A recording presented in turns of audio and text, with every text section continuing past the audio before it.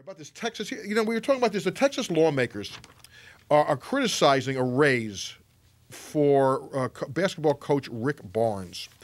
And several Texas senators on Thursday criticized the recent $200,000 raise for Texas basketball coach Rick Barnes, calling it a nuts and a tone deaf uh, during a state budget crisis that threatens cuts to deeper action. And they were saying about. Um, at a state at a time like this where everybody's getting cuts, why are we giving the basketball coach a two hundred thousand dollar raise? Well, it's preposterous. Well, well, no, hold on a second. First of all, twenty five percent, uh, seventy five percent of it is already in I'm saying contractual. I'm saying the rhetoric's preposterous. Well, seventy-five percent is now they are giving him one hundred 75,000, twenty-five. yeah. Right, seventy-five thousand. Now they are giving him a hundred twenty-five thousand dollar raise. That's the bump, yeah. That's the other. That's no, that's the boost. The bump is he's got is contractual. They're going on top of that to boost his salary Oh, yeah. to two point four million, keeping him among the highest-paid coaches in the country. And the reasoning is from from their uh, athletic director, DeLoss Dodds, is that before Rick Barnes arrived at Texas, we weren't a top national basketball program. We are now, so they're rewarding him for that. Look, there's a bigger issue in play. The only reason Texas state senators want to weigh in on what the University of Texas's basketball coach is paid is because it's a public school. And they're crafting a narrative that somehow Rick Barnes' salary is coming out of the public coffers. They'd be building highways instead of paying for the basketball coach at the public university with this money.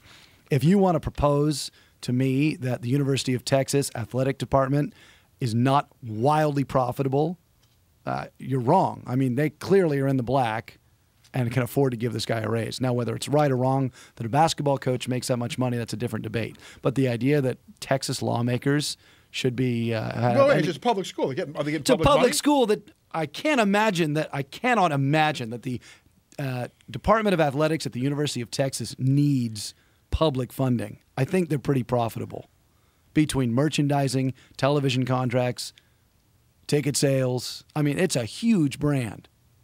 Per- yeah, I, I, want- I, A want- I don't. I- huge yeah, but I don't. That doesn't mean they're not getting public. Just because maybe they're profitable, I don't know if they're not getting public funding at all. I Are they getting know their that. own network very soon? Is it It gonna, is something, yeah, they are. They are something like that. They are getting their own network. UT network? Now, I got to tell you, because now, on a personal note, I have great affection for the University of Texas because their longtime, great, legendary sports information director was a guy named Jones Ramsey for I, I don't know how many years. I think 20. This is Darrell Royal, and he was there for like 20, 30 years, and he's legendary Jones Ramsey. And when I was in college at Houston, his daughter, Mary Ramsey, God bless, one of the great girls of all time, uh, tall redhead, really striking, uh, took it upon me and and uh, this young, inexperienced guy. And one of my first evenings where I got to go quote all the way was Did she deflower you?